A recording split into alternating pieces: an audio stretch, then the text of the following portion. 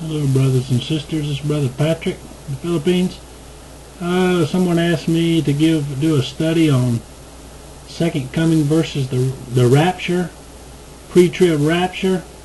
This is a textbook I've got. It's got a list of at the top. You can see rapture passages from the Bible. You can look them up. Then you got at the bottom. You've got the second coming verses. All you have to do is freeze my screen pause it. You can look at any of these scriptures that you want to. Look it up.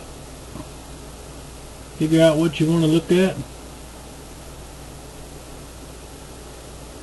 And there you go. That's about it.